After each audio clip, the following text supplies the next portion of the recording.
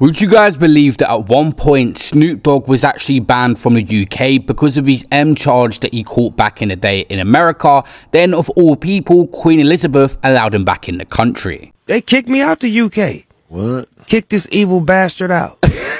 Look at niggas headline. They politically nigga. went at you. Oh, That shit is documented. So the perception there was this nigga beat a murder case and he over here. he over here turning up.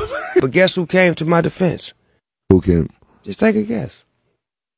Uh, no. Pr- uh, print, print. The vi- uh, was it the prime minister? No, The Queen, nigga. the queen shut it down. Queen said this man has done nothing in our country. He can come. Holy Queen, nigga. cup of tea, man. Bow down, nigga. Snoop Dogg, Yeah, when the Queen speak, bow down.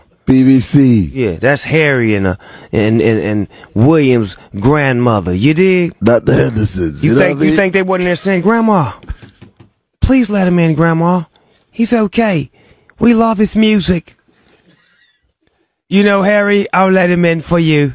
He's not so bad after all, and he's quite cute. Yeah, let me in. You dig? Thank you, Queen. I love you, baby. cup of tea? Yeah, the Queen. That's my gal. It's crazy the Queen let Snoop Dogg back in the UK. She stepped in in amid growing pressure in 1994 to kick the rapper out of the country. The rapper was on tour at the time, however, facing first and second degree M charges, he was arrested and charged with an M charge of an LA man in 1993.